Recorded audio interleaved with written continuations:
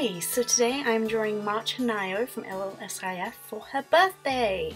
So, I really really love this card and I hope I get it one day because it's super cute. I really actually, I'm quite fond of the, um, the first year of uh, cards. I think there's some really different kind of styles that we haven't seen for quite a while. Like this card has a lot of lace, a lot of lace, and it's almost unique lace in a way, which I quite like.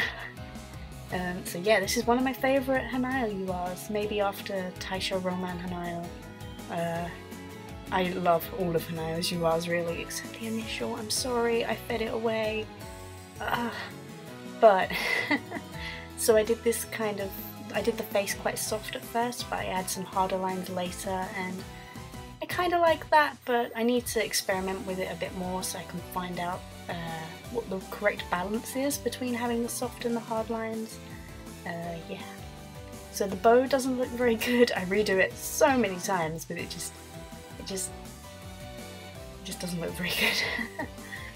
I'm not even sure why. I think I just didn't know how it would move. I think I made the fabric look a bit too thick but that's fine. I really like how I did the face and the eyes especially, they look very serene and I really like that, so that's good.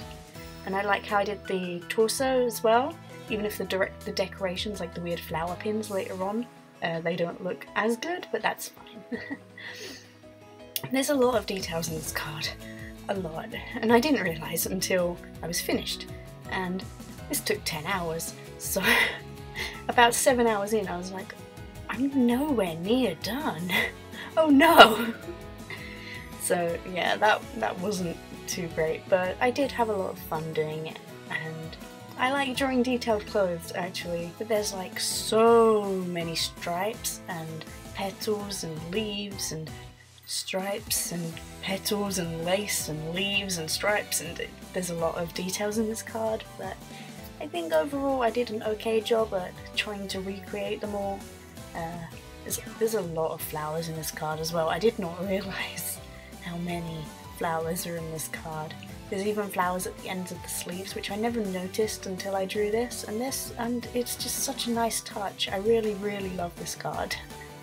Um, yeah, I really hope I get it one day, but you know, it's an old card, so it's not the strongest, unfortunately.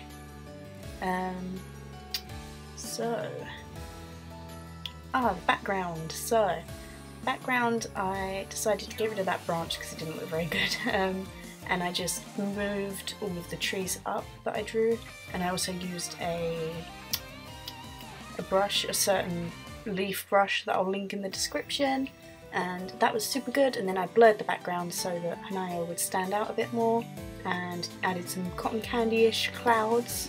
Um, rather because the blue was too imposing I want to say, and that helped a lot. So, we're coming to the end now, so after this all I do is add a brightness layer, do the thumb, do the, the rest of the sleeves, so I brightened it up a bit and it looks a lot better once it's brightened. I'm really glad I did that, because I usually don't, I always forget.